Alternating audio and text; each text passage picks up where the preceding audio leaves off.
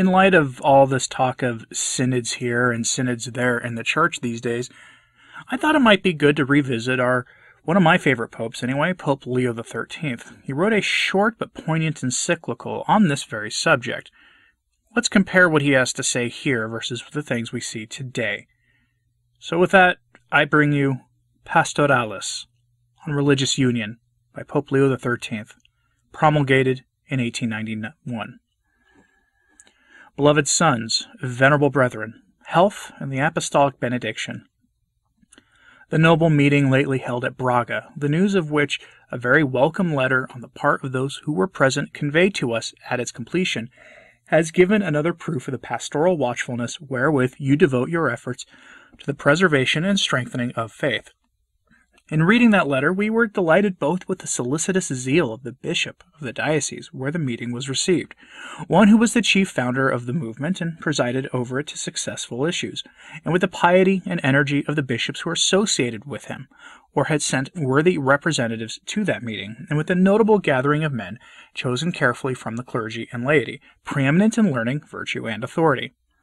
That meeting was the more gratifying to us on the account of the admirable unanimity of principle and the determination of such decisions as would most powerfully work for the prosperity of the Church and the progress of Catholicity. Nor will we conceal that besides the resolutions which we opportunely carried by unanimous consent as peculiarly appropriate to the time and the place, those propositions which express the devoted sentiment and zeal of the members towards the Apostolic See to the effect that due honor should ever be paid to its dignity, that no title of its majesty or its rights should be reft from it, brought to us no little comfort. We are indeed of good hope that the resolutions which were agreed upon at that meeting, so long as they are observed with care and perseverance, will effect a plentiful harvest of fruitfulness. But we and ourselves compelled to observe that a rich field still remains that demands your labor and your industry. Wherefore, although quite recently we addressed you by letter on the Catholic position and its needs in Portugal, and of the course to be pursued for the most convenient accomplishment, nevertheless we are induced to add that letter to some words which we hold fitting to communicate to you,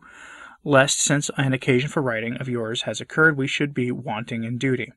You must be aware, beloved sons, venerable brethren, of the truth which was perfectly appreciated at the Congress of Braga, that it has come to pass that the faith itself is among many in danger, and that every effect must be made, though that ignorance or, or indifference should not fall and fail from souls, but rather that it should take deep root in hearts, and should bring forth in good works and the practice of virtue a glad and plentiful sweetness of perfect fruits.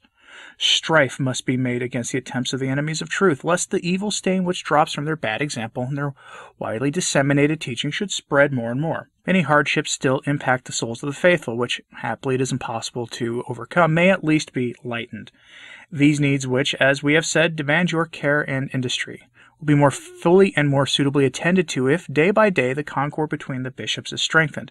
and if their work is made more cooperative in remedying the needs of clergy and laity, and taking counsel and making such decisions as shall seem to align best with the common good, both for the particular requirements of separated dioceses and for those that each reach farther and rise higher, with which the prosperity and the weal of the whole people are associated. The convenience of a stricter bond of union between the bishops did not escape the prudence of those who met at Braga. Wherefore those resolutions of that great meeting were the most gratifying to us which recommended the founding of such a bond, through which the faithful look for ampler and lasting benefits for those rulers who are their directors and their guides. Now, to achieve this permanent and perfect union, nothing is more effective than the custom already practiced in other countries, that besides the meetings at which the lady assists, such as that at Braga, there should be every year special meetings of the bishops, a custom which you have at heart, and which we greatly desire to see introduced among you, since the benefits accruing by its means to religion are made evident by the manifold and constant memory of experience. From, for from the habit of such meetings there first follows, as we have said, a notable unanimity and compactness of strength, which of itself is potent to being to bring great designs to successful issues. Moreover, the hearts of the bishops are more keenly moved to action. Confidence is confirmed, and minds are enlightened by common counsel, in the light of wisdom, shining from one to another. In addition to this, by these conferences the way is in a manner prepared both for diocesan and for provincial synods, for the meeting of the National Council, for holding of which we rejoice to know that you are anxious, since our long experience of the advantage being gained therefrom strongly approved of it, the prescriptions of the sacred canons commend it in a marked manner. Moreover, from the annual meetings of bishops of which we speak, this great benefit also flows, that the laity, moved to greater zeal by new impulses, resolve to walk in the path set for them, themselves to hold meetings to join in council, and by a union of strength to strive for the common cause of religion, and in obedience to their pastors, to perform sedulously those duties which they accept from their teachings and exhortations. Nor in your annual assemblies will you find that there is a lack of matter whereunto to devote your zeal and your energy. For beyond the special business of the separate dioceses, which can more easily be furthered under the light of shared experience, the ordering of those works which are most effective for rousing the zeal of the priesthood already laboring in the Lord's vineyard, and for the education of students who will one day have to shine in the house of God with the light of solid wisdom, with the merit of a true ecclesiastical spirit, with every sacerdotal virtue. This will afford a large field of work to your prudence in your common deliberations. Another matter which will require your fatherly watchfulness will be the diligent inquiry into the means of best filling the mind of the people with the rudiments of faith, of directing their morals, of circulating writings which sow the seeds of faith and making for virtue, of setting afoot works which shall pour out the benefits of charity and securing that those already founded shall be confirmed in new strength. Finally, a very important subject of your debates will consist in the opportunity to afford to you of founding and affiliating religious societies in Portugal, the interests of which we rejoice to see that all who met at Braga had deeply at heart. For these sodalities not only contribute, as it were, auxiliary forces to the clergy who follow in your dioceses, the sacred army of Christ, but also, and this is of crucial importance, they will supply apostolic men for work of the holy missions in countries subject to the dominion of Portugal and lands beyond the seas. The fulfillment of this function will work both for the prosperity of Christ's kingdom on earth and for the glory and honor of the Portuguese name. In truth, your rulers and your ancestry have obtained a deathless glory in which that carry to the vast regions discovered by them the light of gospel truth with a Catholicity under the favor and assistance of the Apostolic See. But the strength and glory of these noble beginnings may still remain and may never fail from that ancient stability and splendor. There is need that they be upheld by the unwavering care and support of eminent men, who, filled with the divine spirit and ever vigilant against the moves of heresy, shall devote all their zeal, all their energy, that the benefits which have flowed out of Portugal into these countries may, so far from wanting, flourish with the infusion of a fresh strength. It will be the duty of such men to effect that they have already believed in God may be increased in faith, that they whose faith is strong may practice ideals of honorable living, religious worship, diligence in duties fulfillment. Lastly, that they who still lie in darkness may be brought to the knowledge of God and to the light of the gospel. Now, the religious associations, whose members, in the judgment of prudent men, to which the experience of time, all time testifies, have fulfilled this ministry of salvation no less gladly than laboriously, will be happy, able to supply men burning with holy zeal, for the rule and discipline of societies to which they belong, as well as the virtue of each trained in constant exercise, is likeliest to produce men efficient before all others for such work as this. We are indeed persuaded that the, Por- the Portuguese state, lending a favorable hearing to your counsels and judging at their highest value those benefits which come before all others, will of its own accord abolish all the obstacles that block the way to the liberty of these societies, and will lend its aid to further your endeavors, which are directed to this end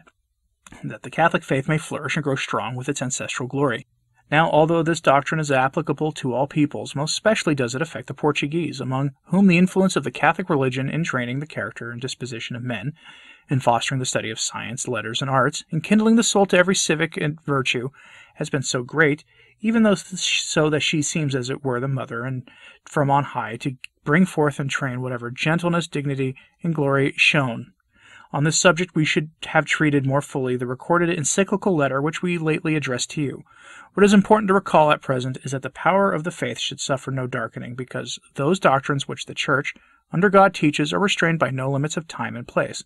but are bound up with the salvation and comfort of all people. This is the reason why those high benefits and strong safeguards, which she brought out of old time to your noble nation, she is still ready to bring for the advancement of your prosperity and your fame, and particularly at this unhappy time, when weakness of spirit so abounds that the highest principles upon which the order and tranquillity of human society depend are boldly moved against, nay, are brought even to totter, none can be ignorant how necessary is the observance of the faith in those holy counsels and teachings which religion enforces.